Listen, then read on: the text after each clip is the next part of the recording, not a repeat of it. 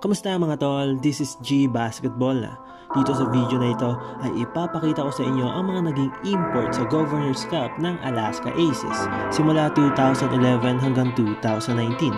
Unahan ako na mga tol, pakalike ang video na ito kung nagustuhan mo. Huwag kalimutang mag-subscribe. This is G Basketball na. Thank you for watching.